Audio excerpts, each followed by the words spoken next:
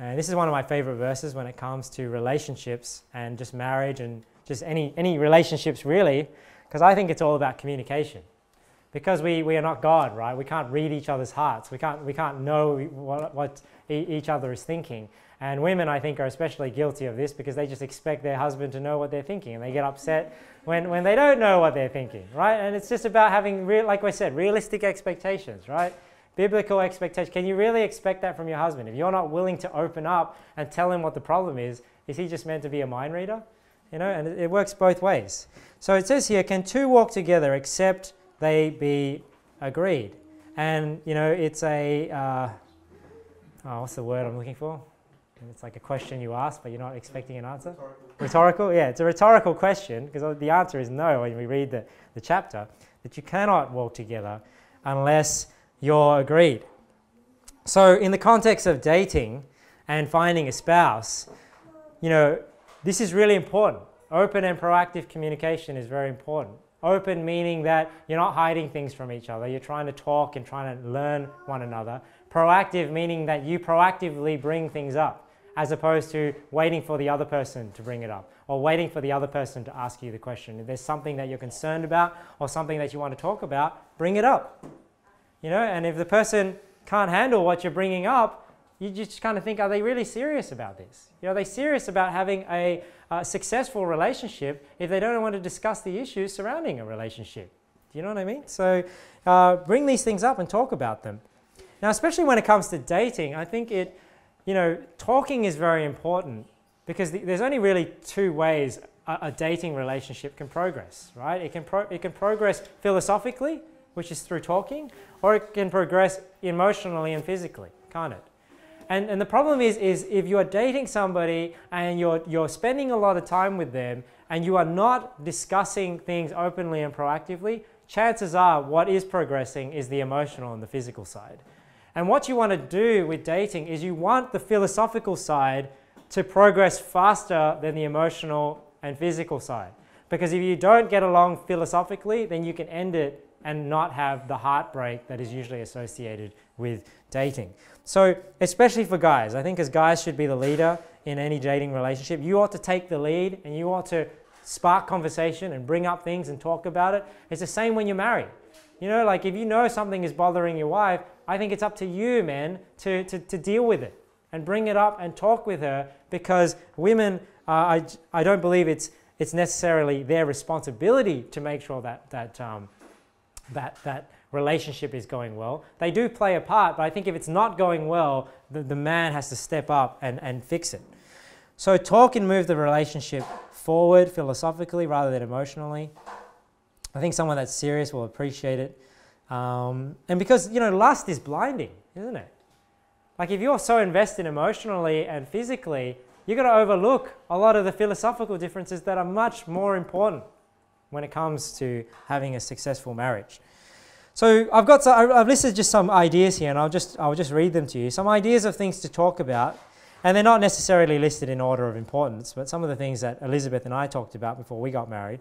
You know, we talked about religious beliefs, our religious views and doctrines, and that's like the major one, right? Because generally everything we believe stems from our religious view. So you talk about everything to do with that, a lot of doctrine, you know, eternal security, salvation, all, everything, right? Whatever you want to talk about.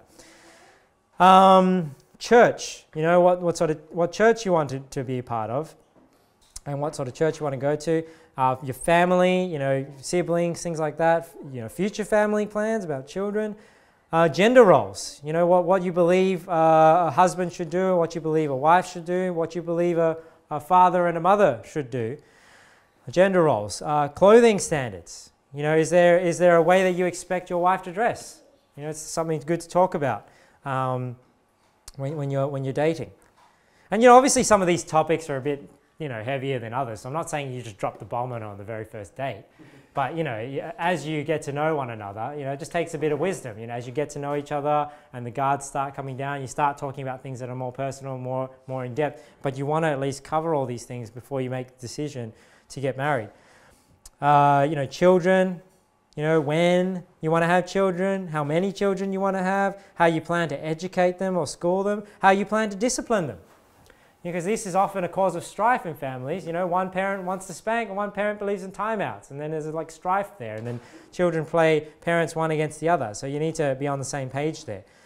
Uh, oh, I listed church twice. That's how important it is. I listed it twice. Church. Um, past relationships.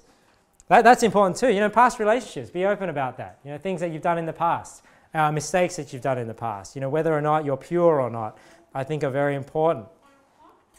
Uh, past relationships, struggles that you struggle with.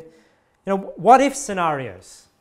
You know, like one, this is some of the things that Elizabeth and I talked about. You know, like what if I became a cripple? How would you handle that? You know, would you leave me? What, what if I was, became mentally incapacitated? What if I died? What would you do? You know, should you marry somebody else? I tell Elizabeth, if I die, marry somebody else you know, so that somebody can take care of you. Um, you know, what if situations? You know, what if, what if I'm unfaithful? You know, there are different views on that, and I'll talk about that in another sermon. But, you know, what if I've been unfaithful? How would you handle it? What would you do? You know, what if scenarios I think are good things to talk about. Finances, you know, should you have the same bank account? You know, should you share bank accounts? Should you have separate bank accounts? How are you going to run the money when you're, when you're married? Work, do you want your wife to work or not? Or is she going to quit work once you get married? Or is she going to quit work once you have your first child? Or, you know, things like that. Uh, goals that you have in life. Where, where, what do you want to achieve in life? Is the woman willing to give up some goals in order to follow the goals of the man? Um, where you want to live. Is your wife going to take on your surname? Is that important to you? Is she going to have it hyphenated or is she going to keep her maiden name? This is important to some people. It's important to me. I think it's biblical for a, a woman to be called by the name of the husband. Uh, wife's surname. Social media and emails. I know some couples, you know, once they get married, they have shared email accounts, shared social media accounts. You know, discuss these things. You know, these might seem small, but if they're small, then talk about them. Then that way, you know, if they're small, there's no point having strife about them once you're married if you've discussed them beforehand. Um, and anything in your background. So there are some ideas. It's not an all-inclusive list, but that to give you an idea of what I mean when I say talk about things. I mean talk about things. Talk about everything. Bring them up and talk about them. You know, and I don't, I don't recommend keeping secrets from the person that you're going to marry. You know, I don't necessarily think that that nullifies your vow, like if you haven't told them something. And they, you know, there are things that I've found out about Elizabeth after we've been married. Um, depending on the seriousness of the issue, I mean, if the issue is really serious, then it's probably better that you bring it up before you're married. It may not necessarily mean you're not married after you get married, but it just means that your relationship might not start off on the right foot. I mean, you know, let's say you know you're married for like a couple of months, and then something that was very important to you gets brought up, and you're like, why didn't you tell me before we got married? And you just feel like, what else are you keeping from me? So this is why it's all about being proactive and being open with communication, because it's very it's very hard to build trust, isn't it? But it's very easy to lose it. And that's why with communication, when something like that happens, you want your marriage and your relationship to be really strong, and that's why you don't want to keep things from one another.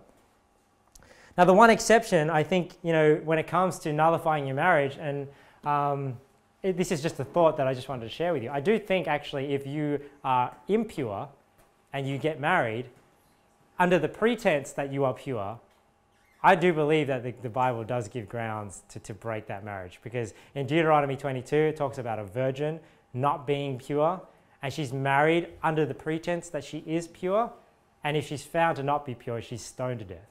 You know, so I would say in our day and age, if a woman is stoned to death for something that she's done, and it sounds like that that is the case, you know, to me that would be grounds to break that break that relationship. But whether that applies to the man or not, you know, if a man marries, I don't know what man would do this, but if he marries under the pretense that he's a virgin and he's not, can the woman put away her husband?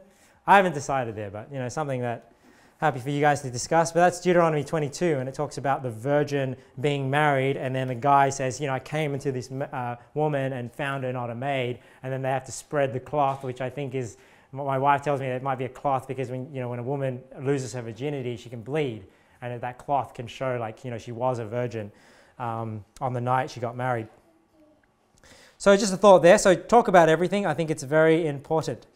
Um, 1 Peter 5, 5 says here, Likewise, ye younger, submit yourselves unto the elder. Yea, all of you be subject one to another, and be clothed with humility. For God resisteth the proud, and giveth grace to the humble. So, just a principle there when it comes to communication, you need to stay humble, right? You need to be humble enough to let that guard down in order to chat. And I always tell guys, you know, you, you ought to let that guard down first. Don't expect the woman to let the guard down. You, you open up. And I think as you open up, I think females will start to feel more comfortable to open up. But if you're humble with one another and you're not proud, then you'll talk about these things and not think like, you know, why is he bringing this up? You know, nobody asked me these things. You know, it's none of your business. Well, if you're going to get married, it is, it is his business. You know what I mean? So you can't have that frame of mind that it's none of your business when it, it is. So talk about those things. Um,